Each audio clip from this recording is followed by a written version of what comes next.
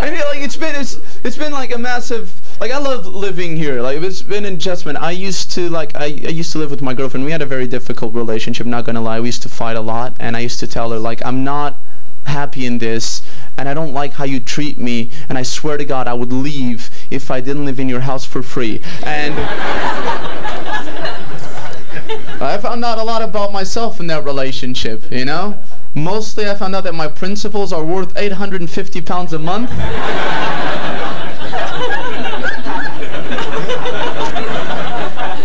excluding bills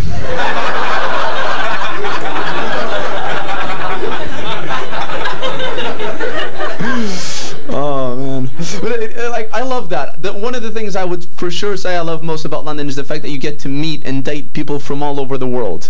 And um, you know, I'm Portuguese, and my ex-girlfriend she was British, and I remember this one time because like when you date someone of a different nationality, right? You take on this unspoken agreement to learn about each other's language and to learn about each other's customs, to learn about each other's culture. And I remember this one time she looks at me, then the eye, she goes, "André, te amo," and I'm like, "Wow."